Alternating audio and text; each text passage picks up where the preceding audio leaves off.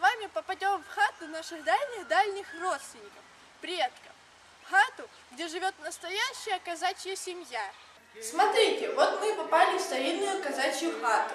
О, да в этой хате есть хозяйка. Здравствуйте. Здравствуйте, хлопчики и девочки. Меня зовут Александра. Я всегда рада гостям.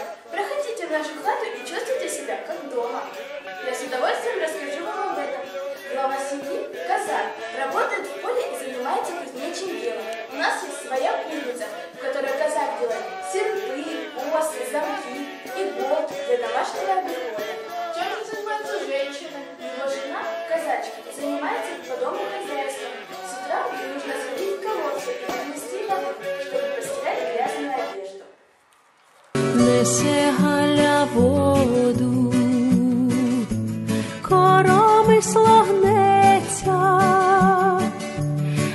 нею Іванко, як барвінок в'ється, за нею Іванко, як барвінок в'ється.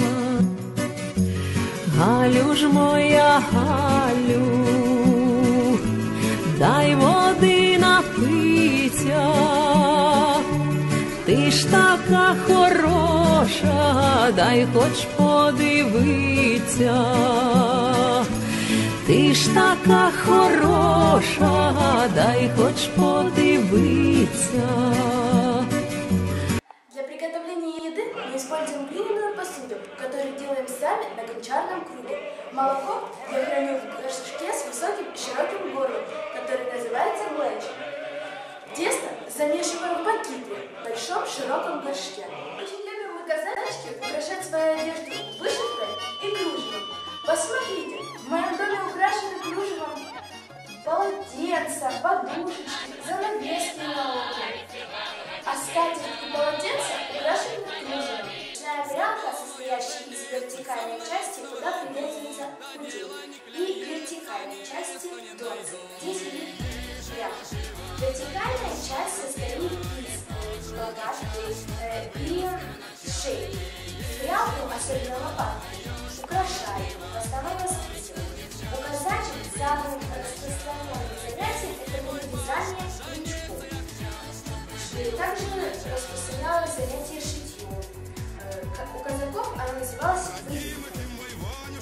Они делали в основном одежду э, для нательного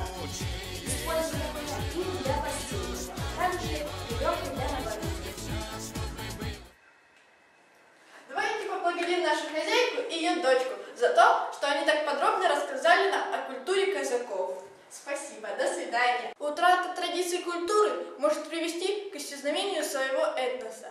Вот почему так важно знать традиции и культуру, и народно-прикладное искусство как его части. С вами была программа «Как у нас на Тихом Дону». До свидания. Ой, то не вечер, то.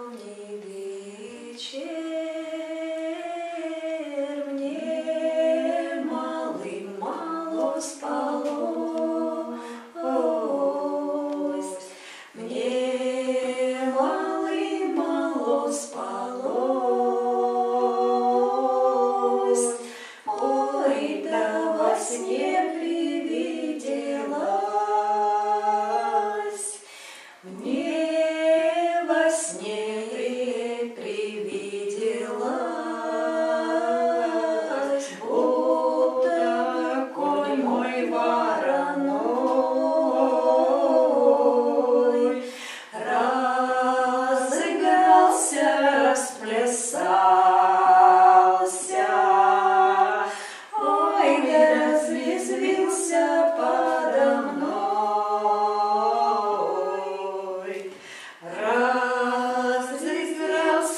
expressar.